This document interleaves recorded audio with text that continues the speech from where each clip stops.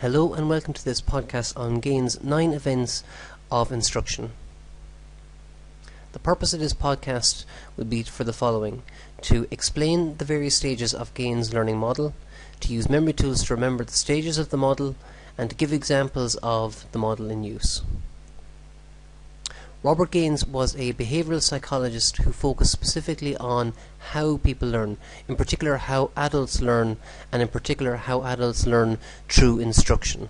So, as part of his theory and his research, he came up with a nine stage model for how people learn, or the nine events in instruction.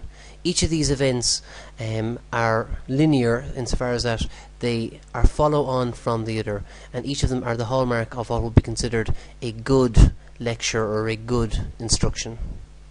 The very first of the uh, nine events is to first of all gain the attention of the students. And if you look at the example of the very first slide that we saw, there we had an example of an advertising campaign um, where someone used the idea of a highlighter pen in line with, say, the likes of the curb to grab people's attention. Um, in the same way, the first slide is trying to grab the attention of the viewer. What does that have to do with this lesson. And this is a common thing that lecturers will do, where they will start off the lesson with something interesting, or they will start off with a question to bring and draw in the students into the lesson, to try and motivate the students, and to try and give weight to the lesson itself. The second then of the stages is to inform learners of the objective. So we, again we saw this with the example of our second slide where we stated the outcomes for the lesson itself. The idea here being that before you can ask the students what they're going to do for you as part of the lesson, you must first of all state what the lesson is going to do for them. Again, trying to motivate the students, having them so that they can see the function or the purpose of the lesson. The third stage then is to stimulate recall of prior learning. So this might be reiterating or restating information from previous classes that might relate to the new information that you're going to learn in the current class. Or if you haven't done previous classes on the area or the topic, it might be a case of getting students to look at their own lives or their own experiences and getting them to take information that might be relevant from that or information that they already know and be able to apply it to this lesson. Say, take for example um, the topic that we're dealing with here, Gaines learning model. If we were teaching a class on Gaines learning model to a group of student teachers, we might want them to say, um, talk about how to grab people's attention. They may not have had a formal class on grabbing people's attention, but they will all be aware of advertising campaigns or seminars or people who are particularly gifted at grabbing attention. So in this way we can use technology to take those examples and we can bring them into the classroom. I mean, with the likes of the internet, within podcasts and YouTube, we can bring that symposium or that advertising campaign and we can apply it uh, within the class itself and we can then form a discussion around that and getting the students to try and work out why they think these things are important. And then you can put a structure of a more formal structure and look at it in relation to your own class. So you're trying to say that no one comes in without any information. Everyone comes in with information and then you're trying to bring that into the lesson itself. The next stage then at this point really students are primed. They have been motivated. Um, they understand the purpose of the lesson, and they un they understand what they're coming in with. So, with that in mind, the next stage is to present the content itself. So here we are stating the information, what the new content, what information the students themselves need to know.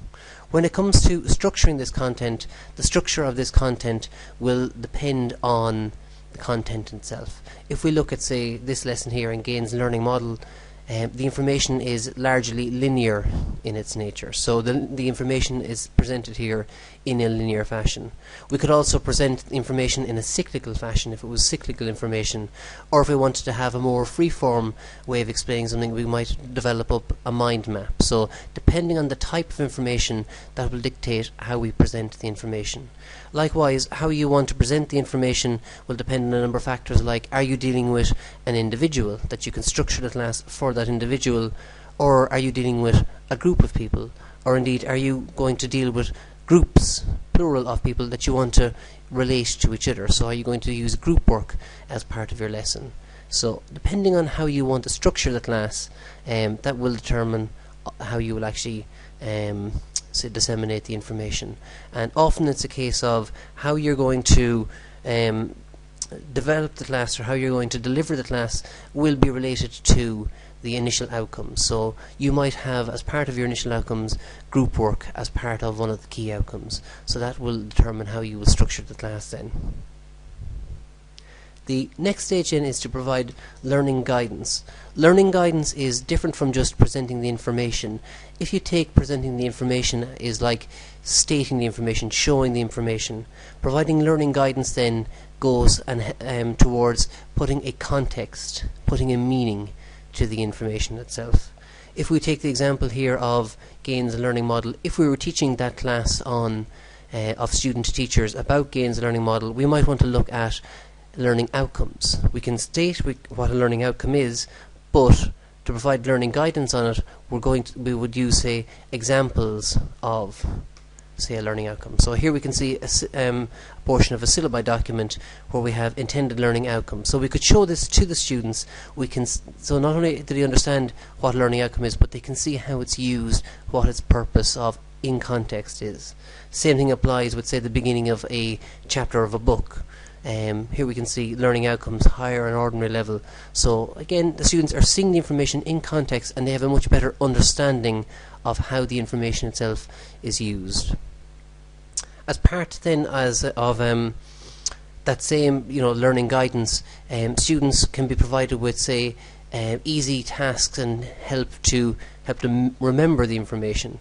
If we look at say things like mnemonics, um, say we want to help a student learn the nine stages of Gaines learning model? Well, we can take the first letter of each of the stages and we can apply a mnemonic to it. So we could say Galway is so perfectly placed for an easy plod on an autumnal evening and by getting students to connect the information with a phrase like that we can also give a image associated with that, we can give a sound associated with that, uh, using the idea of, say, VARK's learning model, using the different senses, we can provide it and make it easier for students to remember that information. The next stage then is to the elicit performance. So here we have a student practicing the information, and it's important that the students practice the information in the context that you want the information um, to be learnt. So if you have someone um, learning a computer program, well, you can give them tasks that will require them to have competency to carry out those tasks. If you want someone to be able to just simply state information, well, you can get them practice that. If you want them to be able to apply the information, you get them to apply the information um, as part of that. So, given the example here of Gaines learning model, you if we were dealing with that class of students, we might give the students a series of topics and get them to look at those topics and get them to apply Gaines learning model to those topics and in that way learning how Gaines model can be applied. The next stage in is to provide feedback.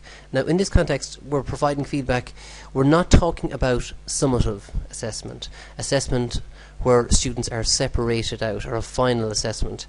In this case here we're really trying to get the grade off the page and we're trying to put the grade into the student.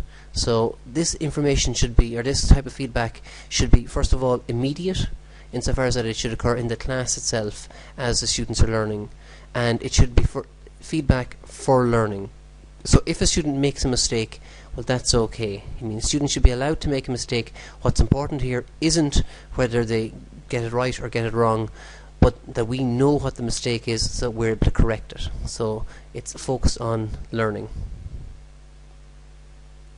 The next stage then is the assessment stage, so assess performance. So having worked from our continuous feedback, where the students themselves will need to be separated out and we will need to determine how well the students know the information and it's often the case where this type of feedback, you know, I mean, this summative feedback should be reflective again of our earlier outcomes. So if we want students to be able to demonstrate the um, information, then the assessment should reflect that, and the students should be asked to demonstrate that. So if we want them just to, so if we want them to solve problems, we would expect them to be able to solve problems using the information. If we want them to state something, we would be able to ex expect them to state it.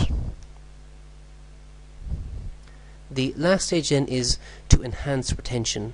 This comes afterwards, so this is when students, when they have learned the information, now they're using or further applying it. So the information doesn't just stop at, um, at the lesson or at the module itself. Students will continue or continually improve and continually apply the information that they've learned, applying it to new situations and using it in new and innovative ways. So in this way the information itself and what they've learned continues on endlessly, um, getting to higher and finer levels of um, competency. So this is GAIN's nine events of instruction and thank you very much and I hope this has been useful for you.